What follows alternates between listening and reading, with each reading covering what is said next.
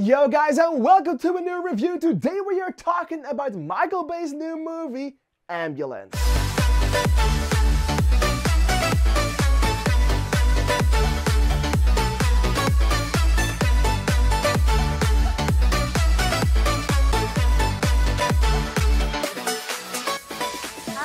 Michael Bay did not make any more movies about cars and Transformers, he decided to make a movie about a car and ambulance. He's not just making a movie about just a car, he's making a movie about an ambulance, and an ambulance having a car chase in LA. And if something is in this movie that I absolutely love, it's the car chase with an ambulance and a lot of police cars and helicopters in LA. Because you know what else is in LA? It's Grand Theft Auto 5. Los Santos basically is LA. So this movie basically is the closest thing we're gonna get to a GTA 5 movie than you can possibly imagine. I can't wait to go into Grand Theft Auto 5 and just have these gigantic, enormous police chases when I am riding and driving in an ambulance.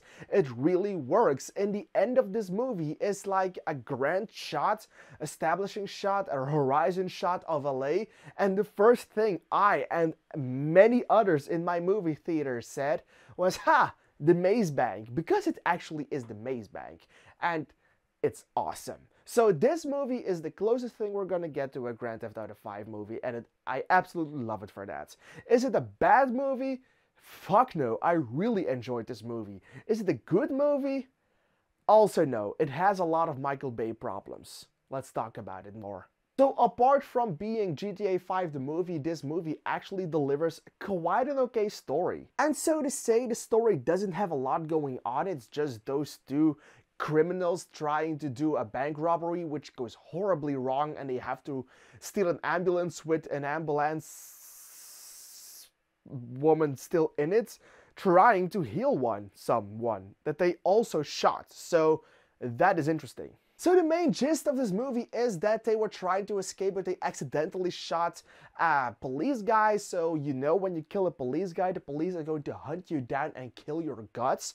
So that is not the way you wanted to go. So what they did is they stole the ambulance they were trying to steal. They threw in the police guy and the ambulance woman that was still in the ambulance had to heal that guy and had to make sure that that guy didn't uh, didn't die all the same time they were having this gigantic chase through Los Angeles and I must say that worked perfectly. Some things about the story that did not work as great as I thought and hoped it would be was the backstory of those two brothers because it just didn't sell it for me. It was okay what they did with it but it didn't hit me on a personal level. It was just there and they were talking about it too much.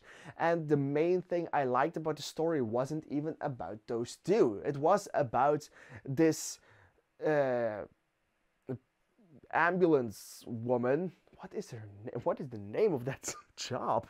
Let's just call it a doctor. The doctor the doctor and what she did. That was phenomenal in this movie and that was the main thing i liked about it because when the movie started we had some things about yahya abdul mateen's character and then about uh, jake gyllenhaal's character and those things were fine but it was when we were introduced to uh, the doctor and she actually had to save someone's life who had been in a fatal car not a fatal but in a severe car accident. That was so intense already and I really liked it. So having those pieces through this epic car chase actually was quite awesome and made me like this movie for what they did with it. So why isn't this a good movie? The performances also are really solid, so it's not about the performances because Eiza Gonzalez did a really great job, Aya, Yahya Abdul Mateen did a really great job, but it's mostly the screaming of Jake Gyllenhaal that really sold this movie on the acting because Jake Gyllenhaal can scream like hell, and he did a phenomenal job screaming in his movie, and I loved his character for that. The police cop and the police force and everyone else was just okay, and the police force did do some stupid things, but there is one piece in this movie that actually broke everything that was good about it, and that was the inclusion of this of this crime gang and what they did to help our uh, not heroes, but more like criminals in this movie. So those guys and the inclusion of them in this movie really brought it down quite a bit. Firstly, because their characters were just plain boring and I did not care.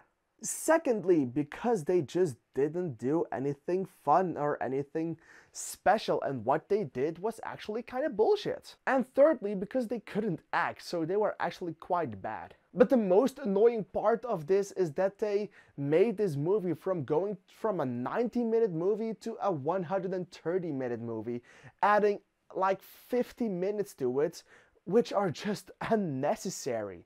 We really don't need their inclusion. If they left them out completely, this movie would have been like half the way it is right now, but it would still be a great movie, hence it would still uh, be a better movie. So the inclusion of using them as the extent as they did was really Michael Bayish. He does this a lot. But if he didn't, he would have made a fantastic movie that I would deeply love.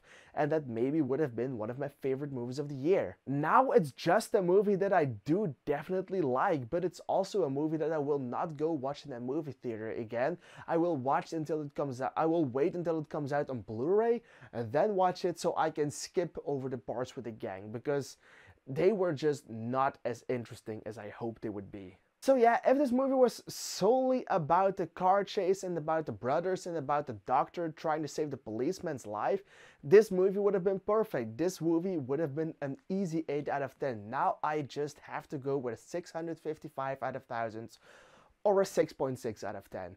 It's good, but it also has a lot of flaws, bringing this movie down from me having a good, great time to just me having quite a good time. Have you seen Ambulance or are you going to watch it? Let me know in the comments down below because I am really excited to hear your opinion about it. I want to thank you for watching.